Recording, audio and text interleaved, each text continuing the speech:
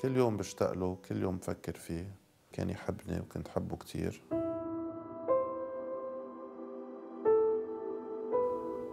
He was a great man. He was a man who, who left his legacy behind and who is irreplaceable.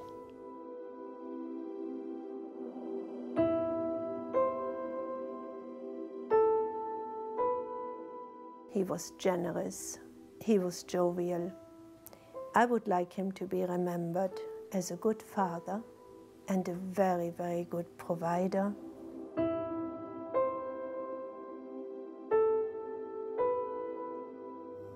هلأ إذا عندي مشكلة ما بقدر حلها بسهولة مثل قبل أه بدي أفكر فيها مزبوط فكر هو شو كان عمل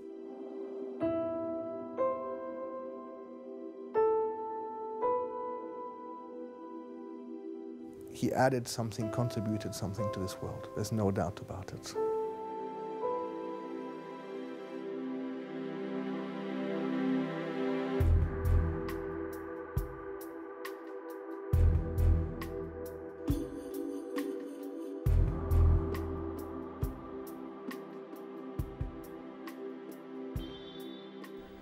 متكئا على احلام وسع الدنيا معبأ بالطموحات الكبيره حاملا قدرته على استشراف المستقبل ومتوهجا بإنسانية مثالية قل نظيرها في عالم الأعمال. تخطى حدود الوطن الصغير وراح يرسم على دائرة الكرة الأرضية حدودا أوسع لمشاريع اقتصادية متنوعة. فكانت إمبراطوريته إمبراطورية ألف وكان هو ألبير أبيلا. هذا الرجل المتسع الأفاق عبقريا كان في مجال الأعمال حتى أضحت سيرته مضرب مثل بين عارفيه وأصدقائه وموظفيه. رغم الإرث العائلي العريق تاريخيا انطلق ألبير أبيلا ماليا من نقطة الصفر. موظف مغمور في شركة النفط العراقية اي بي سي في فلسطين ركب موج المغامرة وبدأ يبني عالمه ليتمكن في سنوات قليلة من وضع الأسس لإمبراطورية اقتصادية راحت تتوسع شيئا فشيئا لتربط الشرق بالغرب.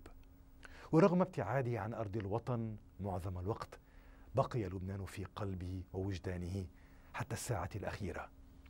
وها نحن اليوم نقلب الصفحات في سيرة ألبير أبيلا ومسيرته لنقرأ حكاية الحلم اللبناني الذي يعرف متى شاء كيف يطبع بصمته على جبين العالم.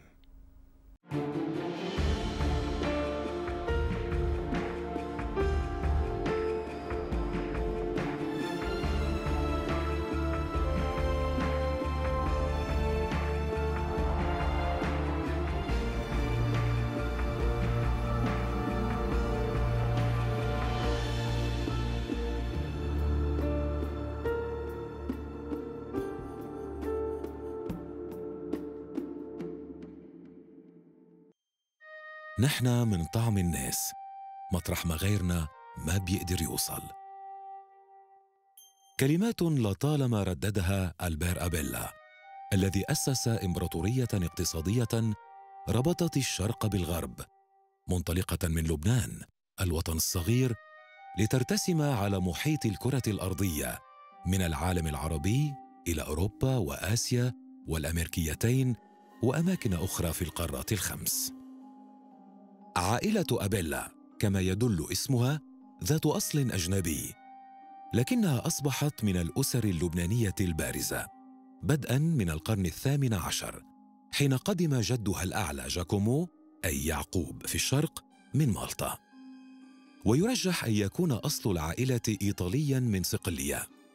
وسرعان ما برز أفراد العائلة في ميادين مختلفة وظيفية وحرفية وتجارية وبرع كثيرون منهم في الطب.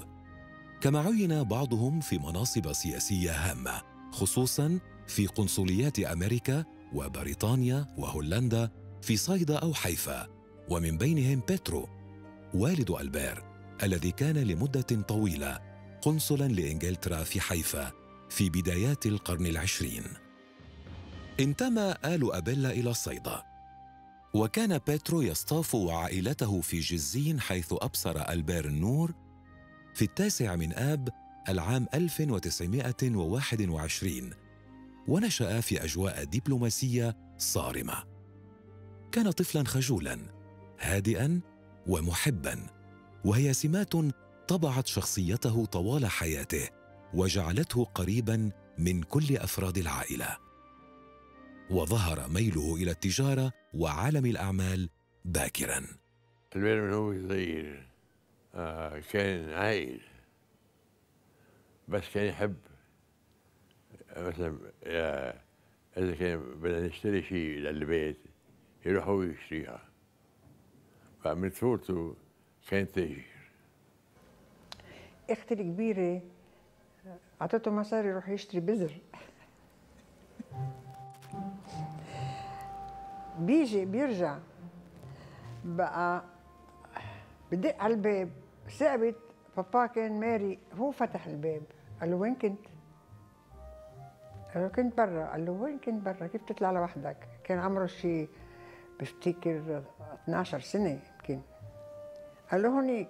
وحاطط إيديه ورا ظهره البير قال له شو معك ورا ظهرك؟ فرجي الكيس. قال له كيف منين جبت مصاري؟ قديش هول؟ قال له قرش. قال له ألبير أحكي مزبوط قديش هدول؟ قال له قرش قرشين قرشين ثلاثة. أخذ الكيس منه عيط لنيلي أختي. قال لها خدي هدول وكبيهم. قلت له okay بابا. أكلوهم بفتكر بشي محل تخبوا وأكلوهم. هيك ألبير كان. أول ذاكره من ألبير فيلا. كنا نصيف بريفون وكان champion ping pong ويلعب بعيد عن الطاوله لأنه طويل و... وإيديه طوال. يعطينا مركبات كلنا إنه مين في يلعب ضد ألبير. في مدرسة ال International College تابع دروسه ثم لم يلبث أن التحق موظفا بسيطا في شركة النفط العراقية في حيفا. ومنذ ذلك الحين بدأت ترتسم في باله أحلام المستقبل. وسرعان ما سنحت له فرصة لتحقيقها. هو لا عنده transport ولا عنده شيء. عرف إنه ال IPC بدها تنقل كل معداتها لطرابلس لبنان. فراح اتفق مع شركة آه، نقليات بفلسطين. طبعا اتفق وكان له حصة من الموضوع. نقل لهم كل غراضهم لل IPC من فلسطين لطرابلس. وهيك بلش هيك بلش عمل مصاري. ومع بدايات العام 49 كانت معدات ال IPC تصل إلى مرفأ طرابلس على متن بواخر شحن لشركة لبنانية. اتفق معها ألبير على تولي المهمة لقاء عمولة جيدة حصل عليها. كانت الرأسمال الأول لانطلاقة إمبراطوريته وتأسيس مجموعة أبيلا التي أصبحت الشركة الأم لكل الشركات التي أطلقها لاحقاً. بعد ما نقل اغراض ال IPC على طرابلس اجى هو على طرابلس مع كمان كراكيشه وعائلته وأمه وكلهم آه، وفتح محل بشارع المينا. محل صغير صار يوضب خضرة فيه آه، وبعدين لما صارت ال IPC تاخذ منه فتح محل تاني آه، على جسر أبو علي نهر أبو علي. فتح محل هونيك وضل هالمحل شي 40 سنة. لما صار عنده نواة شغل بطرابلس ونقل ال IPC شغل أخته معه. وبعدين اشتغل إدوين معه. كان يستعمل إدوين مشان ال public relations ألبير ما بحب الظهور. إدوين كان public relations كثير منيح. لما جينا نسمي الشركة اسم أنا قلت له أنت بديت بهالشارع بالاسم خلي هالاسم هو كان بده يحط الاسمين. قلت له سئيلي حط اسمين خلي الاسم مثل ما هو. وخلينا الاسم ألبير أبيلا في طرابلس عمل البير مع شقيقه الأكبر إدوين في توزيع الطعام على عمال شركة ال IPC التي التزم أيضا مطعمها. وتجلت عبقريته التجارية في ابتكار مجال جديد للعمل لم يطرقه أحد قبلا. تأمين الوجبات الجاهزة ال catering. اشتغلت بال canteen محل البير الكاشير. وكان في عندي 35 موظف. قلت له أنا لل accountant قلت له هاي ليره جديدة بدي قيمة حتى بال شو بيطلع ليرات جديد بدي أحطهم بالبنك. مرة بتلفن لي البير بيقول لي شو عندك مصاري؟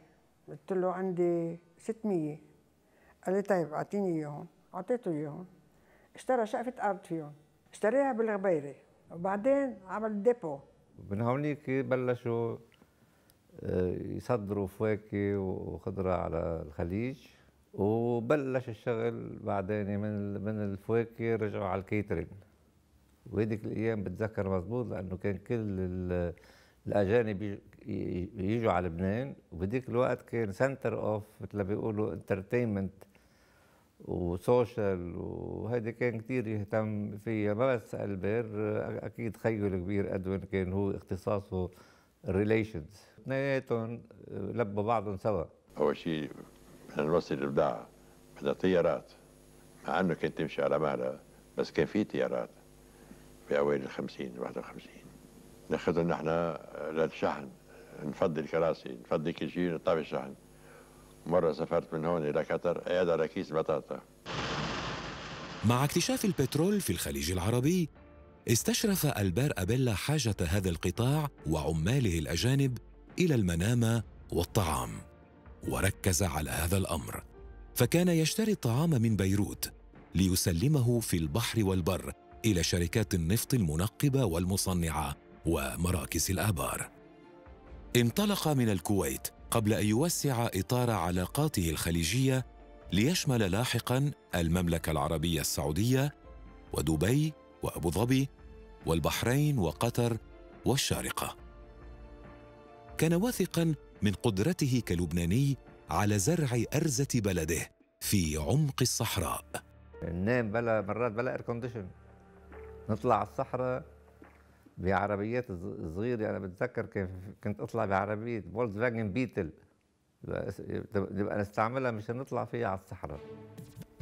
من الكويت نروح على محل مثلا مثل خفجي. امن أويل. كله هذا هلا بتذكر كيف كان الرمل والغبرة تفوت. بس هلا كله ما بتقعد تتذكر لأنه نسينا كل التعب اللي بس نحن بالبداية الشغل كله يعني أنا فيني أقول كان على ظهر كم واحد. يعني أنا بتذكر عقد أول شيء انعمل كبير كان بالسعودية. كنا كنا ناخذ طعمه فوق ال 10000 واحد بكامب واحد. مثلا هذا شيء كبير. بأفريقيا مثلا خدنا كونتراتو كبيرة بأنغولا. وأنا كنت آه، لي يد فيها هيدي ضلت على سنين. إرادة كان كان آه، كثير منيح وكان كثير مبسوط مبسوطين من من الشغل فيها. وبنيجيريا كمان كان في عندنا شغل كبير كثير كان عندنا شيء 95% من كل شغل ال oil companies اللي كنا نطعميهم كلهم. بيطعمي بمناطق لا فيها مأمن شيء هو بيخلق كل شيء بيخلق ال transport وبيخلق كل شيء. ما معقول. بمناطق مش مأمن شيء. الغسيل والأكل والشرب وتأمين النظافة وبوسطتهم وترانسبورت كل شيء يأمن لهم لشركات البترول محل ما هن موجودين.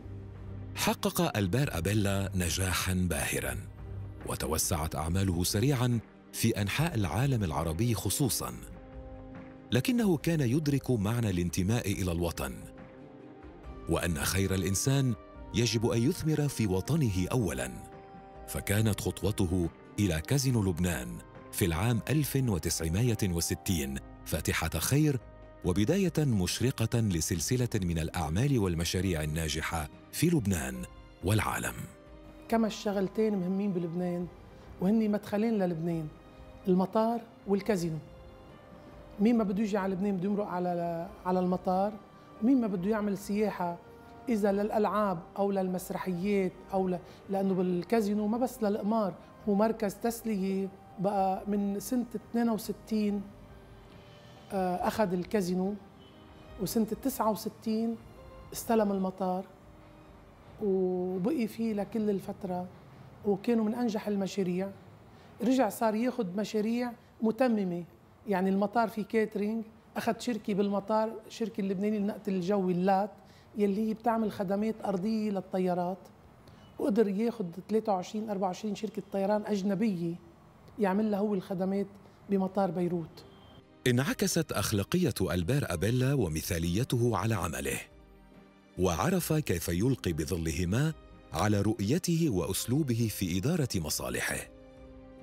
لذا حرص على تأمين سمعة طيبة لمجموعته مركزا على الالتزام بالمواعيد اولا ثم على الجودة بأسعار مدروسة. وهكذا حظي بثقة غالبية الشركات التي أوكلت أمرها إليه من دون تحفظ. كان دائما على التليفون يعرف شو عم بيعطوا أكل لشركات الطيران. بدبي الساعة 4 بكرة بتوقيت أوروبا كان على التليفون مع دبي يعرف شو شو حطوا على الطيارات. زلمة يتابع شغله الشارده والوارده يعرفها بشغله.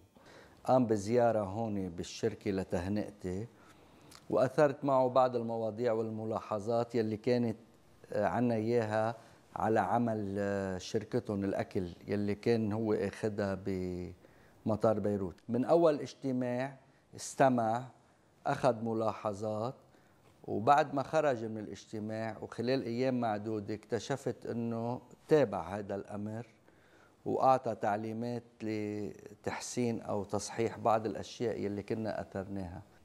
بعتقد هون أهميته كانت.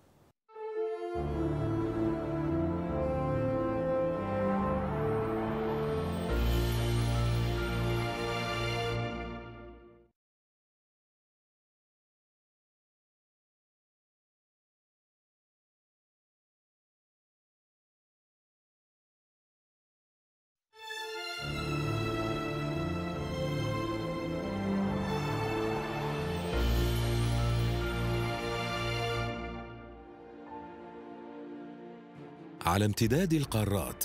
دون البير أبيلا اسمه في استثمارات شملت مختلف الحقول. فحصل على وكالات حصرية لأصناف وسلع عالمية من المشروبات الكحولية والمثلجات والمعلبات الغذائية. وتولى تأمين الأطباق الجاهزة لشركات النفط والمطارات وشركات الطيران وحتى للسجون. وكان أول الغيث في هذا المجال مطار بيروت الدولي. وطيران الشرق الأوسط بدءا من العام 1969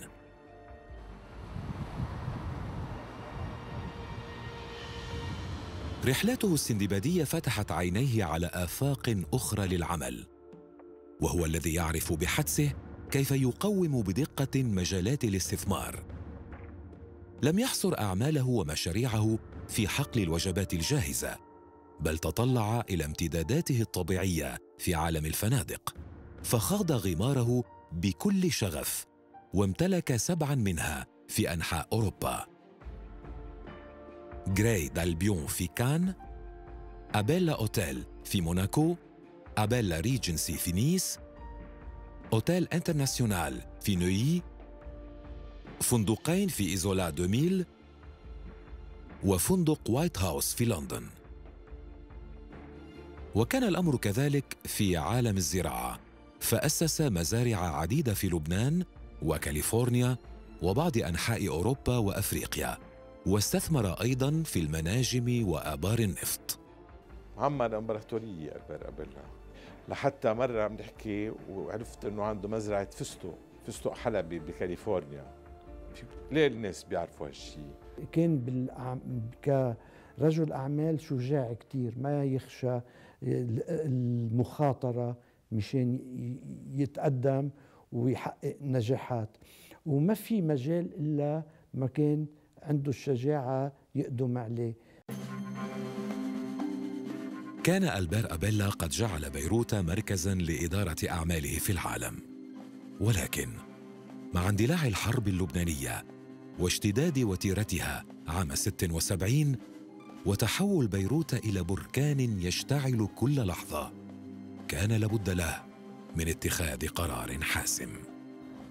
بعد ما صارت الحوادث تتطور من سيء إلى أسوأ صار في تقطيع بالاتصالات لأنه كان عنده أشغال كثيرة خارج لبنان في الدول العربية وأفريقيا. وكان اتصاله يومي مع كل المدراء يعني الصبح يكون حاكي 30 40 مدير برا.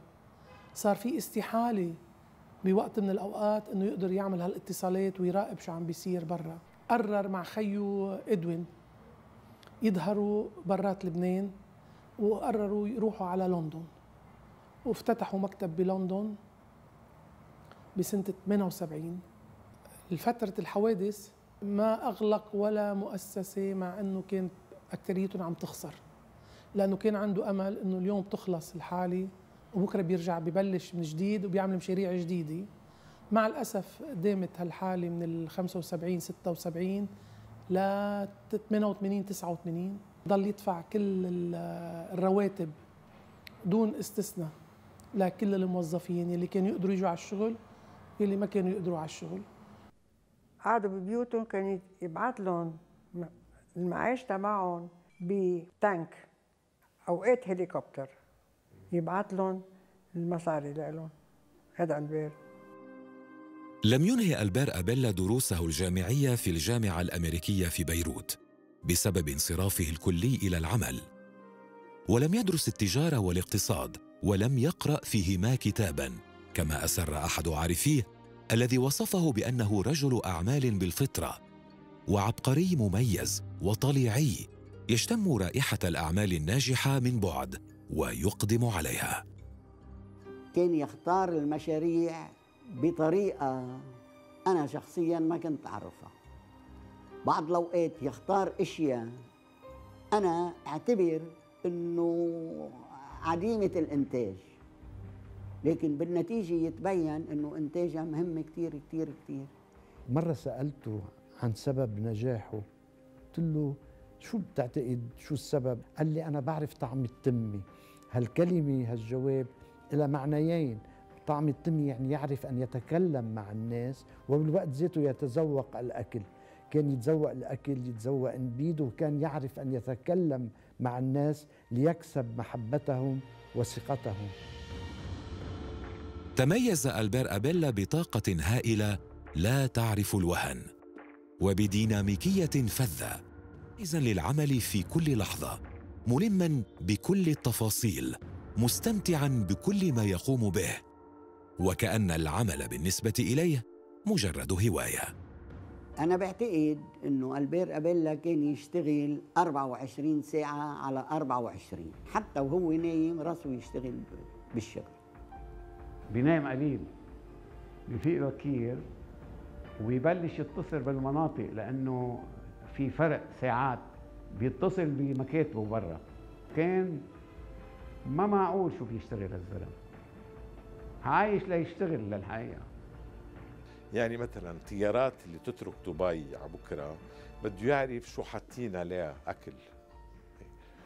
وإذا مثلا عملوا مرتين نفس الم... نفس الوقعة وحطوها مرتين بنفس الجمعة على الطيارات يعرف يقول لهم ولا ليه عملتوها هيدي ما بيسوى تعملوها لأنه مش هيك لازم يقولوا catering قبل catering مو هيك شو اسمه.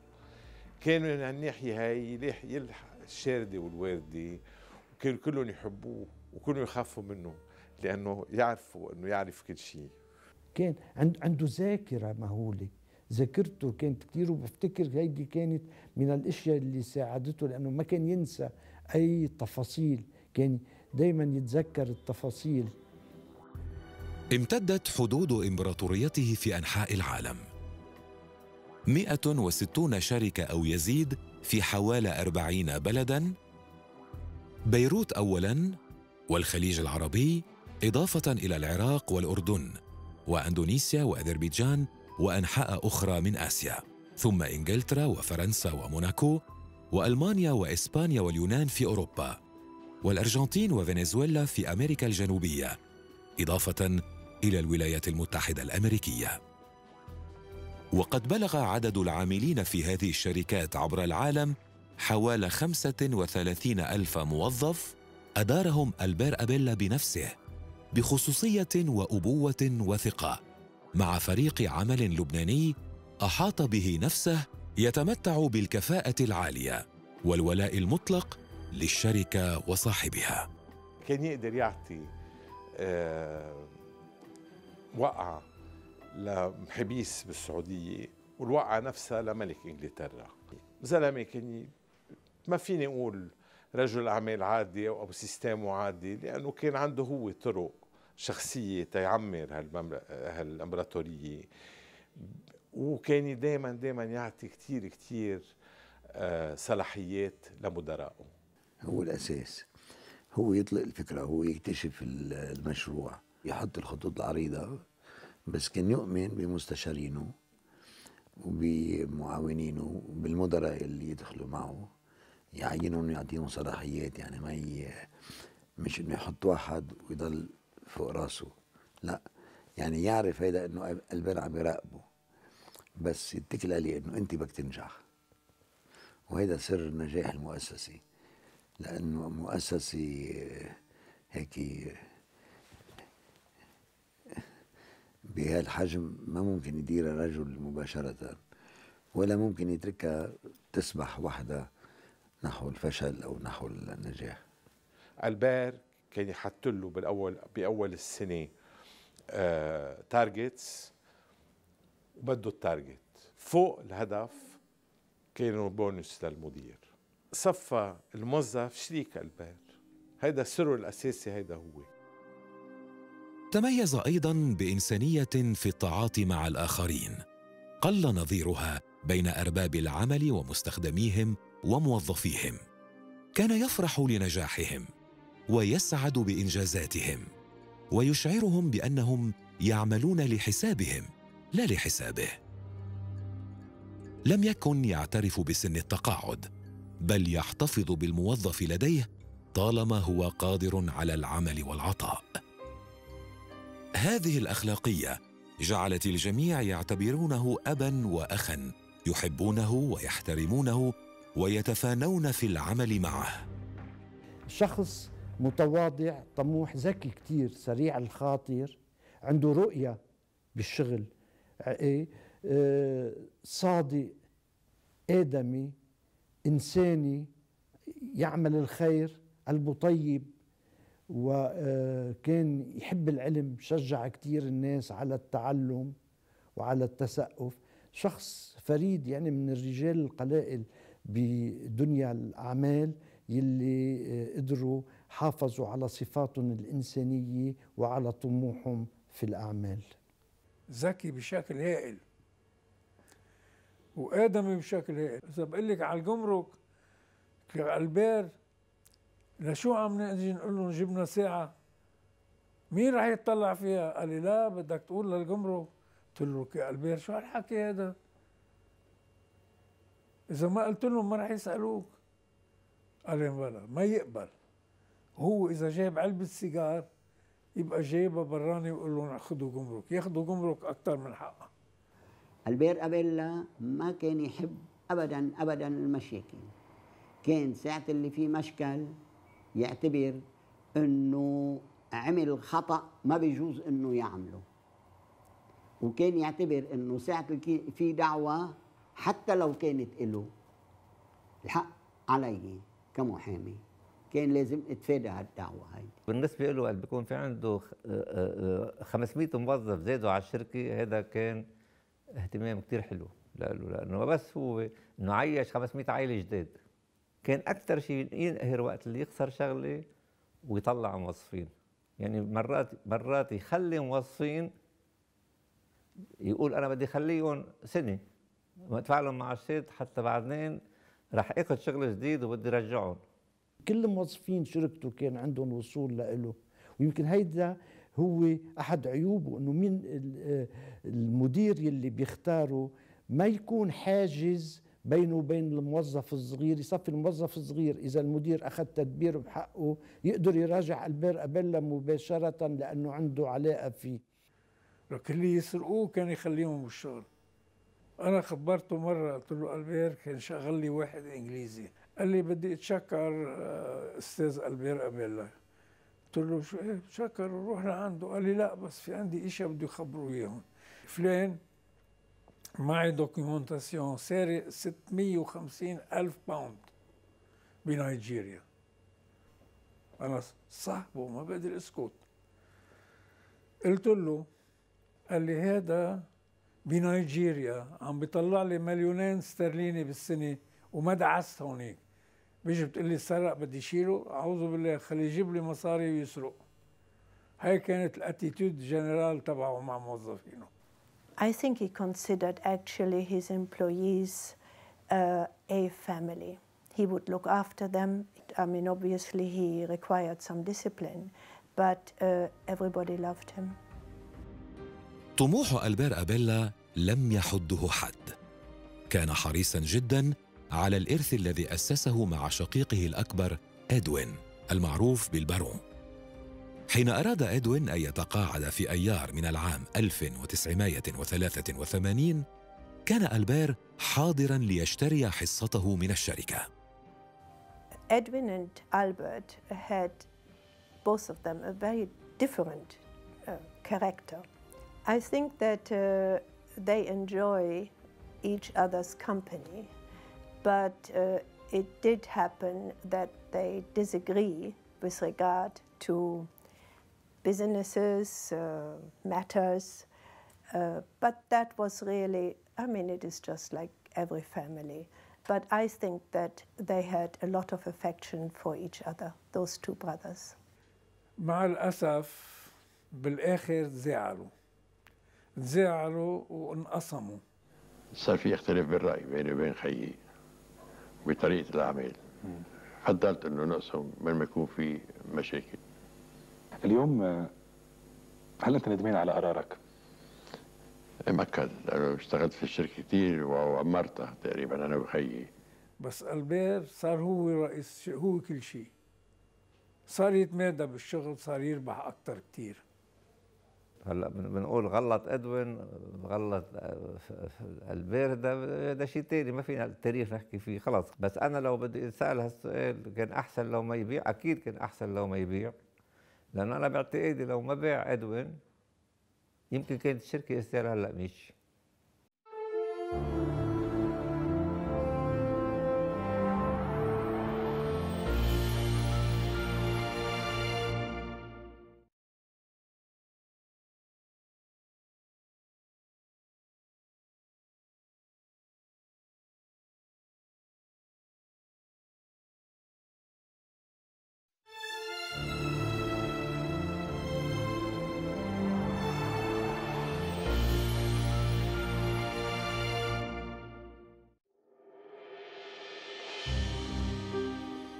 زحمة الأعمال التي حاصر ألبير أبيلا نفسه بها كانت السبب ربما في تأخر زواجه. كان في نهاية العقد الخامس حين التقى بشابة ألمانية رائعة الجمال تدعى باربل كريستيا هيتزمان واختارها شريكة العمر.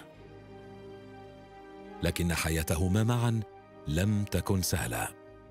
كان على باربل أن تتكيف مع ديناميكية زوجها الغارق في أعماله ومشاريعه، وأن تحتمل غيابه، وتطلع وحدها تقريبا بمسؤولية البيت وتربية الأولاد. I got married in 68 in London, and I had met him maybe three years before um, in Lebanon. My husband loved his work, and therefore he excelled in it. It was not as difficult as, as you can imagine. He was mostly in a very good mood. And on the other hand, I was very young and I could adapt very easily to it. It was not difficult at all. استحوذ عالم الأعمال على ألبير أبيلا كلياً، وأبعده عن عائلته التي لطالما افتقدته وأحست بغيابه واشتاقت إليه. كان عاجزاً على إيجاد الوقت الكافي لها بسبب ضغط العمل وتنقله المستمر من بلد إلى آخر. لكنه في الساعات القليلة التي يجتمع معها كان يحاول التعويض عن تقصيره العاطفي حيالها. طفولتي كانت صعبة لأنه تركنا لبنان بالحرب وانتقلنا من لبنان على فرنسا على لندن بعدين رجعنا على لبنان بعدين رجعنا على فرنسا. يعني ما كان في ستابيليتي بحياتي كتير آه، بطفولتي. آه، جيت على لندن ما كنت أحكي إنجليزي تعلمت إنجليزي. بفرنسا حس حالي غريب مني مثلهم. أمي كانت موجودة وبيي ما كان موجود كتير. When he came home, he would talk to them. He would not lecture, but he tried to try to teach him the right and the wrong. Um, and affection, yes, he had a lot of affection and a lot of love for um, his children, but he was not somebody that was um, exuberant. بيي كان يشتغل كتير ما كان يقعد كتير بالبيت وبس يرجع على البيت كان آه، يرتاح أو يتفرج على التلفزيون. وقبل آه، ما تركنا لبنان بال- بالحرب إنه كنا نسمع كتير قواص برات البيت. كان حط قطن بدينات تا- تا ما يسمع القواص ويكمل آه، يتفرج على الفيلم على التلفزيون. There were there was an age gap of 54 years between my father and me, which is enormous, and and yet I always felt very comfortable with him. The, the 54 years age gap were actually quite irrelevant in our relationship. He had such a young and vibrant mind. I think it's about quality of time at the end of the day. Of course, he was traveling and I was at school. But when I did see him, which was often, uh, we enjoyed every moment. We also spent many summers together in Graz, where he dedicated two months of the summer with his family. And we would share breakfast, lunch, dinner, outings. سكن لبنان وجدان ألبير أبيلا بجماله وأجوائه وثقافته وتقاليده وأطباقه في حديقة المنزل الذي قضى فيه آخر سني حياته في جراس في فرنسا زرع الكثير من الخضر والنباتات التي تحضر بها الأطباق اللبنانية وكان يشرف بنفسه على إعدادها. اشترينا البيت بجراس الستة وسبعين. آم، كان بده بيت بمنطقة مع نفس المناخ آه، تقريبا مثل لبنان. وكان وفضل جراس على شط البحر لأنه آه، ما كان يحب الرطوبة وهون الطقس ناشف. كان حاسس حاله ببرمانة تقريبا هون بجراس. كان يحب ياكل بالبيت وكان يكره المطاعم. كان يحب ياكل على ذوقه. بكل بيت كان معه عشة ومشان هيك وظف فهيم لأنه فهيم آه، أهم عشة لبناني بالعالم. وبي كان يقولها. كل أنواع الخضرة كان يحبها بس اللوبيا والكوسة كانوا مميزين عنده. وكان يطلب من المدير بلبنان يبعث لنا بذر بذر كوسة وبذر لوبيا وبذر ملوخية ويبعثهم على جراس. ونحن كنا نجيب الجنينات الفرنساوي نوقف على إيده ونعلمه كيف لازم يزرعهم. وكانوا الضيوف عنده نكون عاملين لهم ملوخيه يستغربوا انه نحن كيف عندنا ملوخيه على الكوردازير Molochie on a Sunday lunch, where all his friends would, would congregate. Uh, my brothers and my friends would be there, obviously, my mother. Very simple, in the garden, but a beautiful time and, and moment shared amongst all of us. And, and it's those types of memories that, that, that are always there in my mind and my heart, to be honest. كان مكتبه بلندن ال- ال- المركزي. بس كان يرتاح أكتر شيء هون ببيته بجراس هيدا كان يحبه أكتر من البيوت بلندن وبلبنان وين ما كان. كان يرتاح بجنينة يتمشى بجنينة يشوف الخضرة اللي جنيناتي كان عم يزرعها كان يرتاح كتير هون ياخد راحته يعزم أصحابه أوقات. كان يدللنا أكثر مما يدلل أولاده. قالها أحدهم كان البير أبيلا إذا اختار صديقا محضه ثقته ومحبته وأخلص له إلى أبعد الحدود. أصدقاؤه من جنسيات ومستويات اجتماعية مختلفة وقد اختار هذا الفارس في جوقة فرسان فرنسا أصدقاءه بعناية ومنحهم ثقته وغمرهم بعاطفته النبيلة. كان صديق صدوق. وكان ما يترك ولا بلحظة من اللحظات أصدقاء. لدرجة إنه كان ساعة اللي يدعي لمأدبة عنده. كان يعرف كل واحد شو بيحب ياكل وكيف بياكل. ويعمل له طبخة أو يطلب إنه يعملوا له الطبخة يلي بتناسبه. كان عنده صداقة بتربطه بالرئيس هراوي بالرئيس رفيق الحريري بالأستاذ غسان تويني بالوزير فؤاد بطرس صار له في علاقة عنده علاقات كثير مع رجال السياسة ألبير أبيل صديق عائلة بيت الهراوي مش بس الياس الهراوي كل بيت الهراوي يعني من إخوته لإله. وكان في عمل مشترك بيناتهم اللي هو التجارة. والياس الهراوي كان يتعاطى هالشأن وتعرفوا على بعض واشتغلوا سوا. السياسي كان يهمه منها إنه ما يكون في مشكل بين شركته وبين السلطة. فإذا يعني آه، من الانطلاق هو مع السلطة. بس ما بده هو يجيب السلطة أو يأثر أو يعني يساعد السلطة ما بيتدخل. في يخلط السياسة بالاقتصاد بس السياسة لخدمة الاقتصاد. يعني ياخذ سبونسورات قوية كتير بالبلاد العربية تيقدم شغله. بأوروبا نفس الشيء بأوروبا صداقاته السياسية مع اليمين واليسار بفرنسا بإنجلترا مع المحافظين والعمال. ولكن ما هو يتعاطى السياسة شخصيا. ما كان يحب هالشيء. ولا يعطي رأي الشخصي. آه، أهم شيء كان البير بنصب عينيه إنه يساعد الناس من خلال عمله من خلال المؤسسة الكبيرة الإمبراطورية العظيمة اللي عنده إياها اللي كان هي تشغل كل شيء في ناس وتعيشهم برفاهية. الانسان اللي ما بيتعاطى سياسي وعنده إمكانية كبيرة وهيله يساعد غيره هو أهم من الرجل السياسي.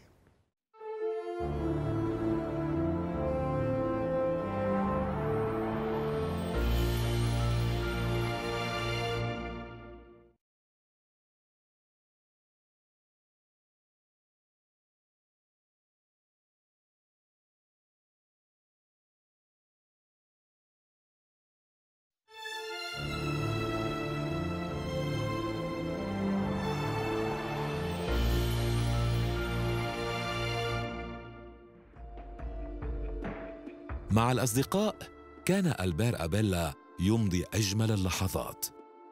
وإذا أراد الابتعاد عن شجون العمل كان يجتمع إليهم في مناسبات مختلفة وعلى موائد الطعام كان يتسامر معهم ويلهو ويروي لهم الأخبار المضحكة. كان ألبير أبيلا صاحب نكتة يرويها بشغف ويستمع إليها بشغف أكبر. أما الأوقات الأحلى بالنسبة إليه فكانت في رحلات الصيد التي كان يدعو أصدقاءه إليها ويسترخي وإياهم في أحضان الطبيعة ويمارس معهم هواية عشقها وأتقنها. كل هواية بيتقبلها أو بيحب يمارسها بيتقنها مثلا الصيد. رحنا هو وأنا ويمكن صديق ثالث ما بذكر مين. على مدرسة بتعلم الصيد. كيف بتوقفي وكيف تكبشي البارودة وكيف تطلعي بالعصفور وكيف بتحملي آه، كيف لازم تقوصيه وإلى آخره. مضينا سبعة ثمان جلسات بمدرسة للصيد. ونحن متصورين إنه بنعرف نتصيد يعني. كان ألبير أبيلا يدعوني على رحلات الصيد بالرغم من إنه ما عندي أي موهبة بالصيد. الحقيقة كنت أمسك البارودي بس ما بعرف كم طير مصيد بحياتي. آه، إنما كنا شلة أصدقاء نمضي تقريبا أسبوع بسكوتلندا بمحل حلو كتير اسمه تولخان لودج وكان يدعي أصدقاء له منهم من هو صياد باهر ومنهم من كان يرافق ويتصيد شوي وكنا نمضي وقت ممتع لأنه كنا نتحدث كنا ننكت كنا آه، نمشي. كانت رحل رحلات صيد آه، كتير ممتعة. كان مرحوم ألبير أبيلا يجيبنا طيارته تاخدنا على مطار عسكري. قريب ساعة بالسيارة من مطرح ما بنتصيد. ومطرح ما كنا نصيد أكتر شيء كل الويسكي على الضفتين ونحن القصر على تلة. كل واحد عنده أوضة مع صالون مع حمامات مع كل شيء كان يروح على Scotland ويتصيدوا grouse طير كتير سريع. كمان كان يروحوا يقوصوا حجل بإسبانيا وال pheasant بإنجلترا. وعلى طول نفس الناس. أوقات يجي معهم كمان رئيس جيسكار ديستان اللي كان يعز بي كتير وكتب لي مكتوب لما توفى. كان يقول إنه أنا فرصتي هي بهال سبعة ثمان أيام عشرة أيام صيد اللي بتجوا فيها. كان يقول هيدي فرصتي بالسنة عاش البير أبيلا حياته بمنتهى البساطة. الهدف عنده كان النجاح وإثبات الذات مرة بعد مرة. وأن يبني ويبني إلى ما لا نهاية. ورغم استقراره في لندن كان يزور الوطن باستمرار. ولم يتخلى لحظة عن مشاريعه فيه. مساعداته الاجتماعية والإنسانية كانت تشكل بالنسبة إلى العديد من المؤسسات والأفراد دعما اساسيا. أنا بؤمن بالنجاح. النجاح هو شيء مهم. هذا ال test. وبعدين نجاحه ما طلع ما ضرب على راسه. بقي بتواضعه بقي ب شو اسمه بعدين كان عنده مؤسسة fondation تعمل خير وتساعد آه، مشاريع آه، مش خيرية بس يعني مشاريع يساعد الناس. يعني ما زماننا قصدناه إنه في هون فلان أو في عائلة أو في مريض أو في طلاب دغري يتجاوب.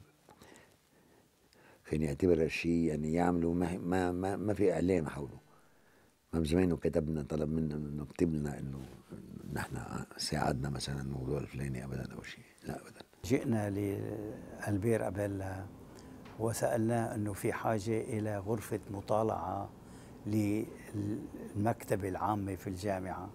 فهو تقدم بالمساهمة المالية وبعد الجهد قبل أن نوضع بلاك صغير يحمل اسمه لهذا المكان في الجامعة خلال الرئاسة اللي هي الفترة المهمة كتير آه الياس حب أنه ألبير يرجع آه، يشتغل بلبنان عن جديد وينمي آه، ويساعد الناس أكثر وفعلا لبى هالشيء ما ما توانى أبدا آه، وخاصة بالنسبة إلي أنا هون بذكر عندي ثلاث محطات مهمين إن كان بدبي أو بلندن. كان من الناس الأوائل والقلائل اللي دعموني وساعدوني لحتى أقوم بهالمركز مركز الرعاية الدايمة اللي هو اليوم أنا موجودة فيه. أخذ قرار أنه يكمل دعمه ماديا وأنه ما يسكر هالمؤسستين يلي هي كانت الأكل مأكولات ويلي كانت شركة ال handling اللات. بالرغم من أنه خسائر متتالية كان عنده آه، التزام ببقاء هذه الأعمال في بيروت وقال لي اياه لما شافني؟ قال لي أنا بغض النظر عن الربح والخسارة أنا هيدا المطار جزء مني وبيعني لي كثير وحضلني أبذل فيه أحسن جهد لحتى كمل أعمال شركاتي فيه. بيي كان فيلانثروبيست بس أكثر شيء للبنان.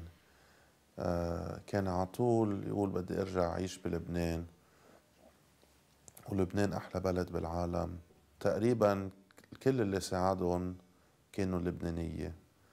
آه، مثلا التلاميذ بالأيوبي أو بغير مدارس وغير جامعات. كان ما يحب ابدا أن يذكر اسمه وهو يعطي لطلاب وطالبات محتاجين ومحتاجات حتى أنهم كانوا يكتبوا له بعد التخرج وبدهم يقابلوه وي- ويشكروه.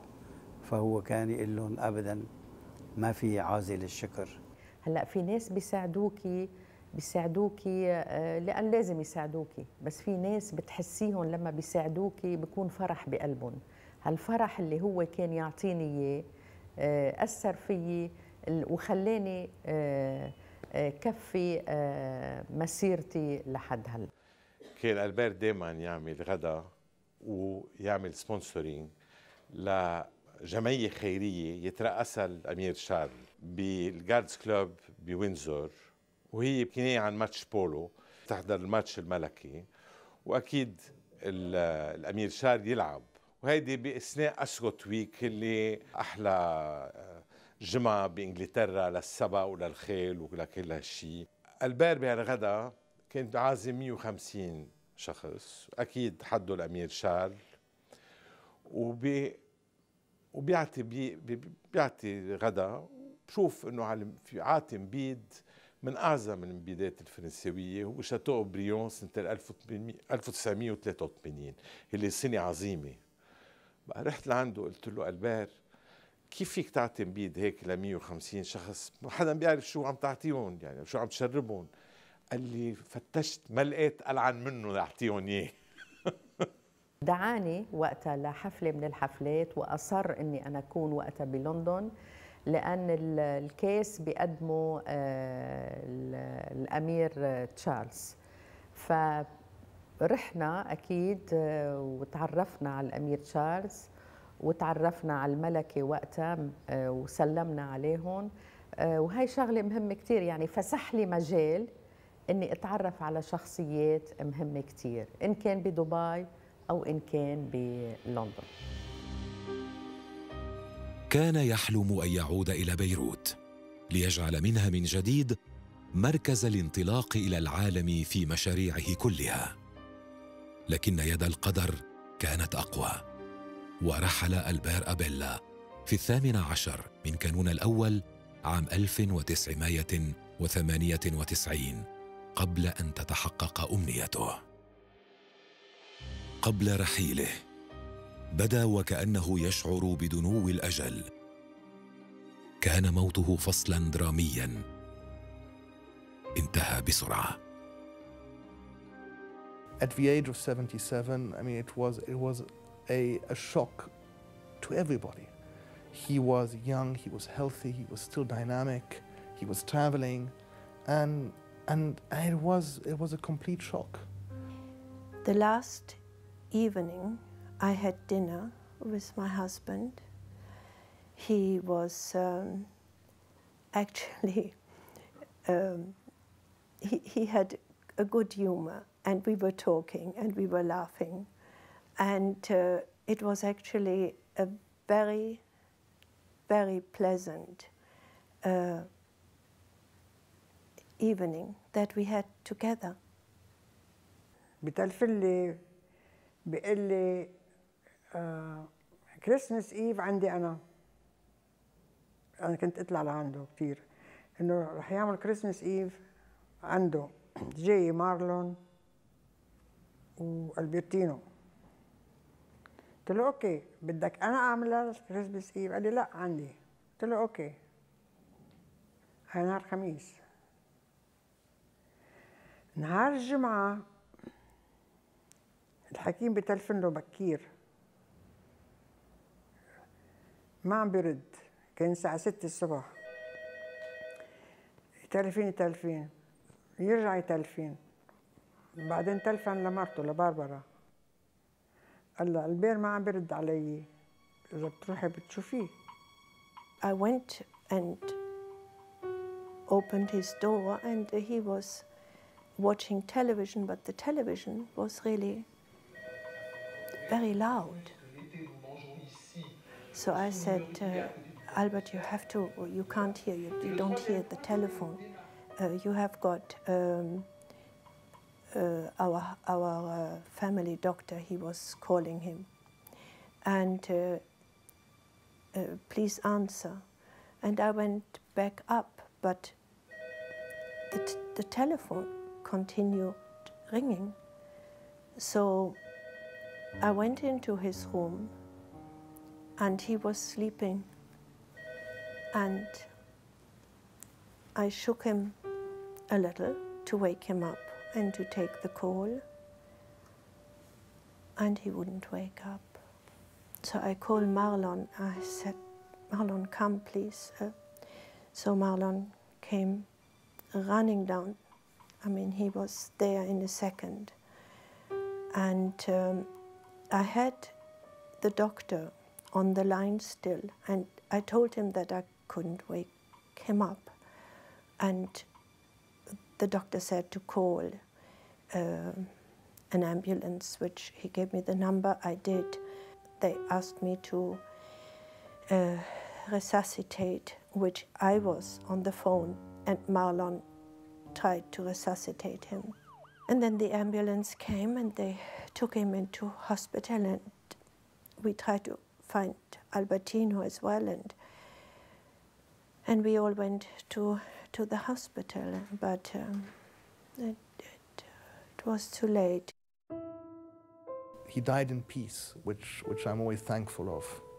Uh, he didn't suffer. بالأسف ما شاف أحفاده كان كتير جا عباله يشوفهم ويلعبهم آه وتوفى بكير آه كان عمره 77 سنة ما ما شافهم ودفناه بلبنان هيك لأنه كان بده يرجع بعد وفاته على لبنان.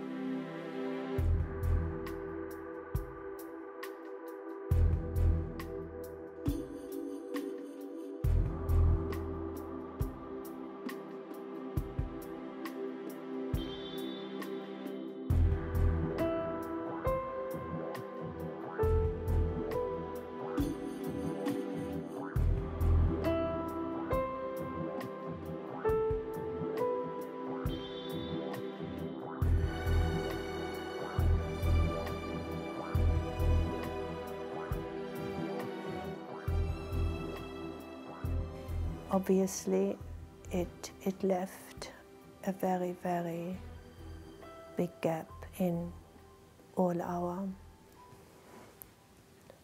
lives my sons myself. But I don't have to say how he would be remembered because I'm sure that a lot of people friends employees remembered him. And uh, missed him for a long time. To me, he was a mentor before anything else and foremost. And he, he guided me in my, you know, in my, throughout my life and still guides me today. When I have a problem, when I have an issue, I, I, I often think of the way he would tackle the issue. And, and I consider myself very lucky, in fact. حابب الناس تعرف قديش اشتغل وقديش تعب انه كل واحد بيتعب وبيشتغل قد ما اشتغل بيي في ينجح. الموت يخطف الإنسان لكنه لا يلغيه. رحل ألبير أبيلا. لكن حضوره ما زال طاغيا على كل مؤسسة ضمتها إمبراطوريته يوما. وإذا كان قد اختبأ خلف تواضعه فإن عبقريته كرجل أعمال تسللت إلينا عنوة لتصبح قدوة للحالمين بحكايات النجاح من دون أن يسكروا بما ينجزون.